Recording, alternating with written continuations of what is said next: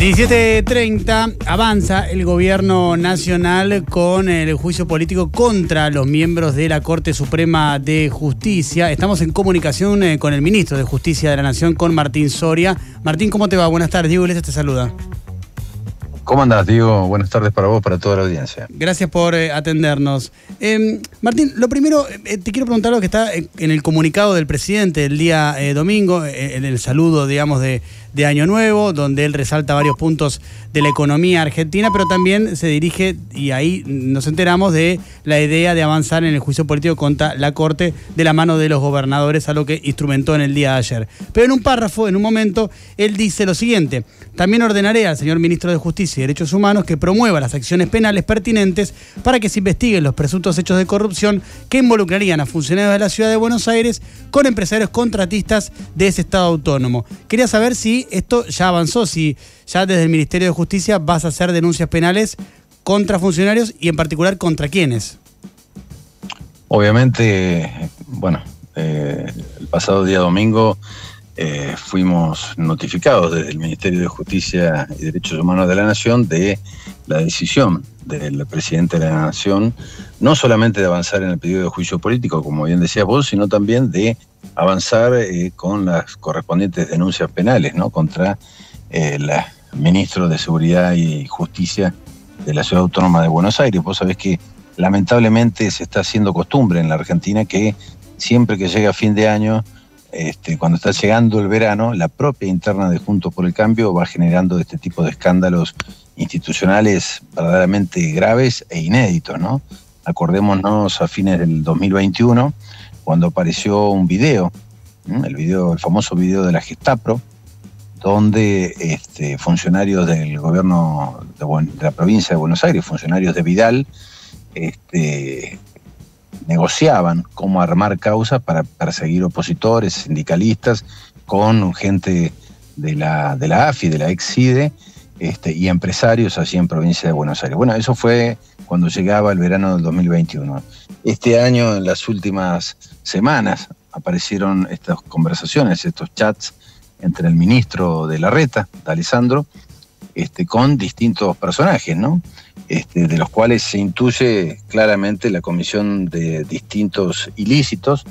Por un lado, están las conversaciones directamente con la mano derecha de uno de los jueces de la Corte Suprema, el presidente de la Corte Suprema, Horacio Rosati.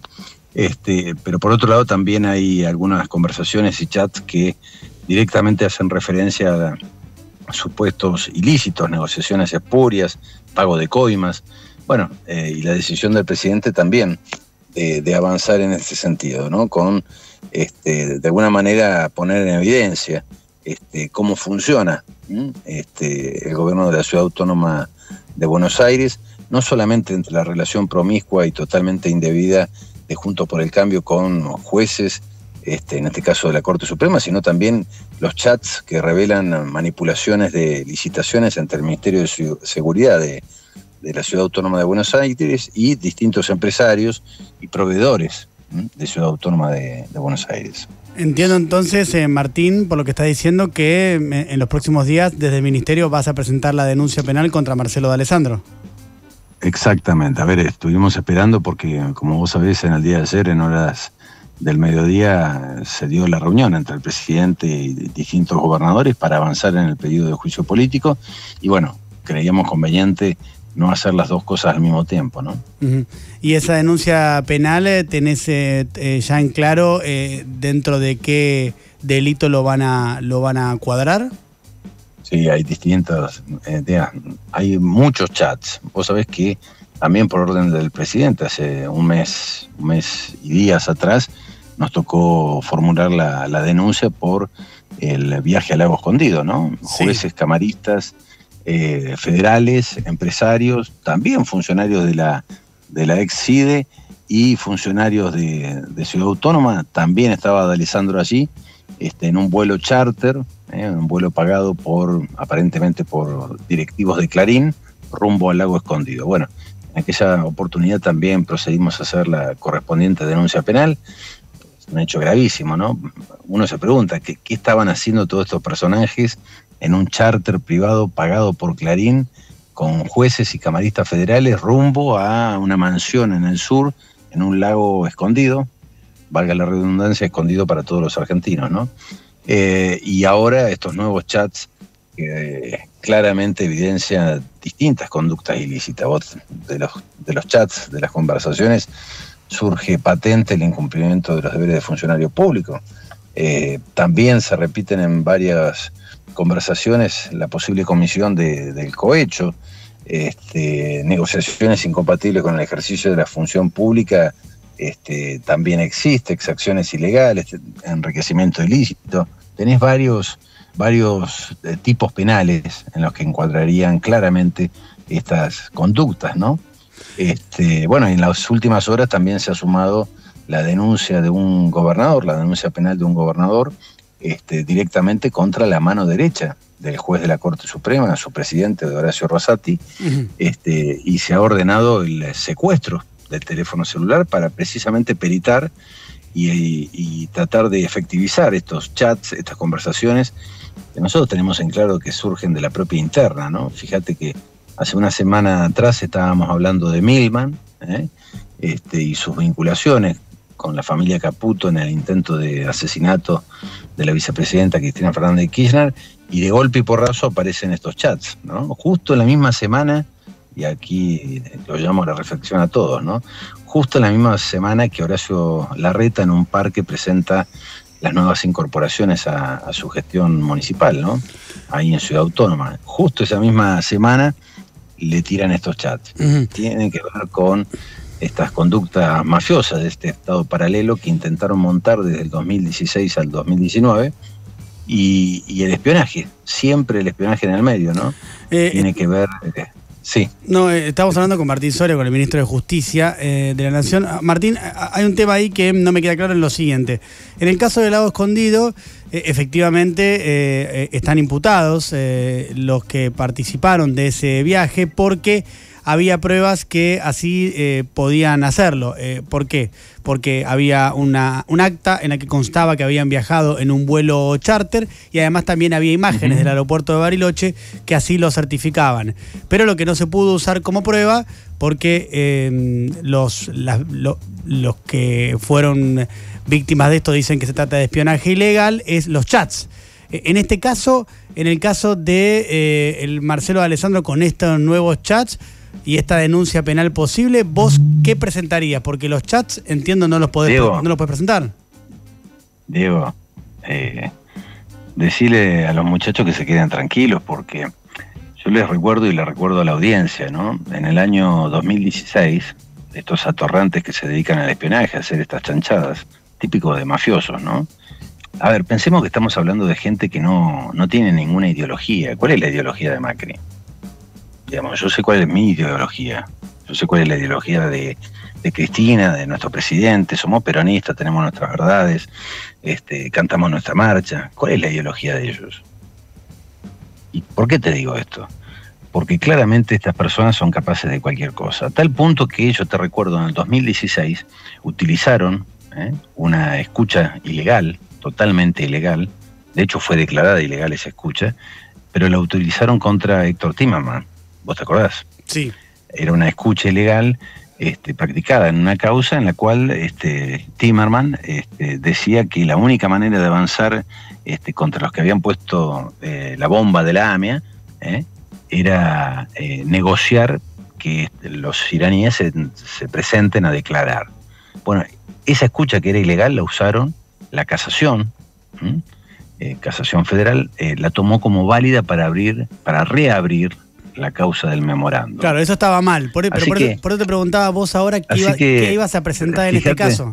Sí, sí. No, en, nuestro caso vamos a presentar todos los recortes periodísticos que hablan de estas, estas chats, estas conversaciones, y obviamente vamos a pedir que se secuestre inmediatamente los teléfonos celulares para corroborar si efectivamente estos personajes estaban eh, charlando. ¿eh?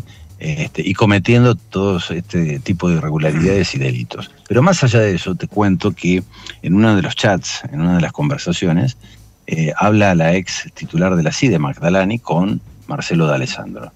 Bueno, este, hablan de eh, operaciones o una licitación, no se sabe bien de qué estaban hablando, pero sí hablan de chalecos antibalas.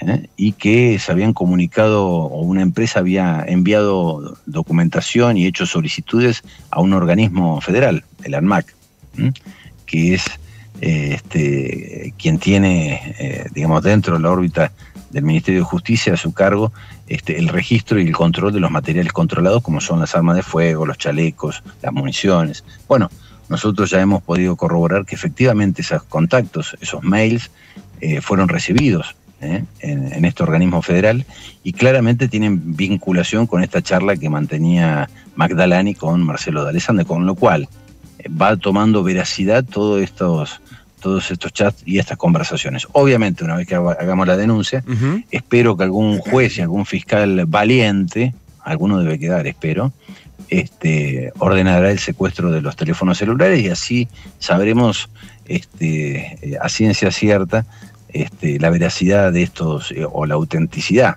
de todos estos delitos y todas estas conversaciones y chats. Martín, ¿qué tal? Nico Fiorentino te saluda. En la carta que publica el presidente el día domingo, entre, otros, entre otras cosas que dice, dice, debo impedir que se siga manipulando el Consejo de la Magistratura con insólitas interpretaciones jurisprudenciales. ¿Eso significa que eh, se está barajando la posibilidad de, por ejemplo, incluir la reforma del Consejo de la Magistratura, que ya tiene media sanción del Senado, en las eh, sesiones extraordinarias para que lo discute la Cámara de Diputados? Tranquilamente sería una posibilidad. Tenemos que entender que eh, la situación que, estamos viviendo en la Argentina no es normal.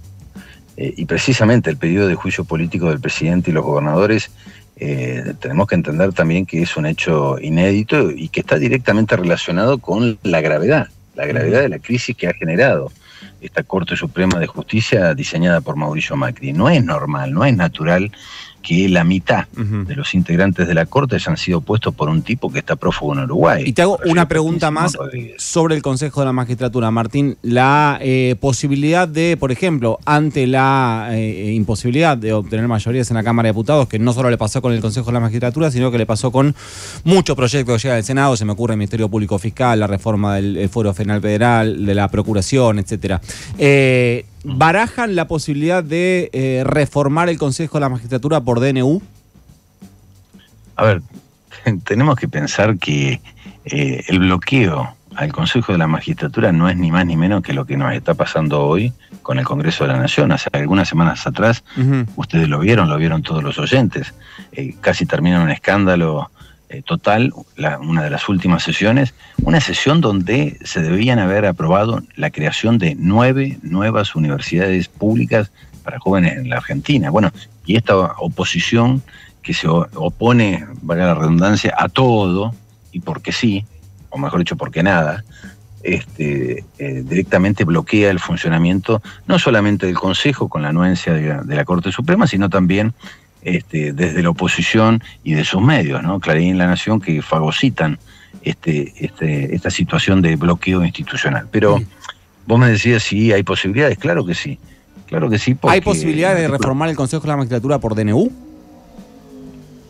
el artículo 99 que habla eh, precisamente de los decretos de necesidad de urgencia en ningún momento impide este, que se pueda llevar adelante un DNU, sobre todo cuando la propia Corte en ese fallo insólito del 16 de diciembre de 2021, que es una fecha crucial porque eh, nunca antes en Argentina jueces de la Corte se habían animado a revivir una ley derogada por el Congreso de la Nación, ¿no?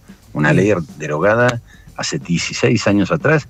¿Y para qué la derogaron? Para meterse a manejar el Consejo de la Magistratura, que es el órgano que tiene que investigar y sancionar a los jueces que incumplen con, su trabajo, con sus funciones. Bueno, Mm. Este, y tenemos que pensar, y la audiencia nos puede ayudar también, eh, qué es lo que estaba sucediendo en el Consejo de la Magistratura cuando esta Corte Suprema, la Corte Suprema que se mensajea con D'Alessandro, el ministro de Seguridad de la Reta, qué es lo que pasaba en ese momento allá en diciembre del 2021. Bueno, el Consejo se aprestaba a reemplazar, como ordena la Constitución, a dos camaristas puestos a dedo por Mauricio Macri en la Cámara Federal, me refiero a Brugli y Bertuzzi. Jueces que no cumplían con los requisitos fueron puestos por decreto, fueron, perdón, perdón, fueron trasladados ilícitamente por Mauricio Macri. Bueno, cuando el Consejo se aprestaba a cumplir con la Constitución y reemplazar a esos dos camaristas, la Corte saca ese fallo insólito, este, metiéndose por la ventana a manejar el Consejo de la Magistratura, poniéndole un plazo de 120 días al Congreso de la Nación para que saquen una nueva ley. Ellos sabían que en diciembre del 2021 se venía la feria judicial, que no iba a haber sesiones extraordinarias porque el bloqueo de la oposición era total, de hecho no hubo sesiones extraordinarias, ustedes recordarán, y bueno, se cumplió el plazo y la Corte se puso a manejar el Consejo de la Magistratura. ¿Y qué, para, qué pasó? El Consejo se paralizó. Hmm. Este año fue el año que menos eh, trabajo tuvo el Consejo de la Magistratura, fue el año que menos reuniones plenarias ¿eh? y investigaciones realizó. Para eso querían meterse a través de un fallo insólito la Corte a manejar el Consejo. Por eso, como decimos, este, es gravísimo lo que está haciendo, eh, lo que están haciendo estos jueces de la Corte. Este, con este abroquelamiento, ¿no? Porque no es solamente que se mensajean con la oposición, sino que de esos mensajes va surgiendo la hoja de ruta de lo que hace la oposición. Mm. Y eso es vergonzoso, eso es inédito, eso no pasó nunca. Ese Martín Soria, ¿eh? el ministro de Justicia de la Nación. Martín, gracias por la entrevista. Gracias, Diego, Nico, un cariño a la audiencia. Una saludo, hasta luego.